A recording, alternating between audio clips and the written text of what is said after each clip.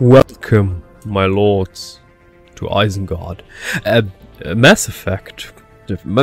Maybe my favorite movie game series of all time. It's not a movie series, but it's a game that sometimes feels like a movie because the story is more or less great. And um, we're going to dive in. Back in the day, I actually started with Mass Effect 2 and then um, waited for a few years and then played Mass Effect 3. And after I finished that, I wanted to play Mass Effect 1. Um, but the problem was that the game was that outdated that it just... Uh, nah. I tried the first mission and the graphics back then were that... Ugh. Was just like, nah, I'm going to wait. Maybe, maybe they're going to make a remake out of this. I mean, they remastered. It's not a remake, but it's a beautiful, beautiful series. Um, the story, the characters. I mean, there's a shitload of fan stuff, stories, porn, um, games, fan modifications. It's a grand franchise, like Star Trek or Star Wars.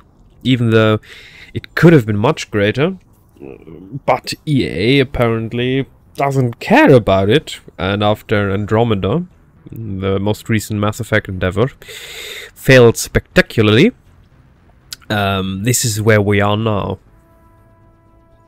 So we're going to start with Mass Effect 1. what?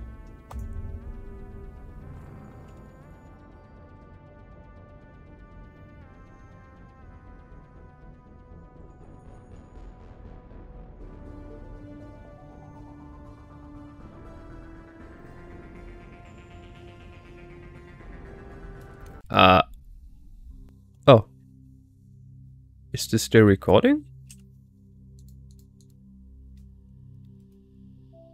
Uh.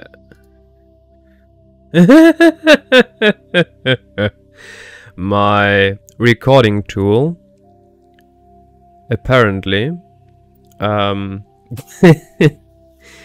uh, is still grabbing the launcher exit you know, can't see what I see. Oh, come on. Okay, so I have to restart the recording. We'll see you in a few, maybe. Oh, I'm just excited. Mass Effect's just there's just so many memories. It's it's just a beautiful game. Back in the days, I don't know how many hours I invested into this. Well, see you soon.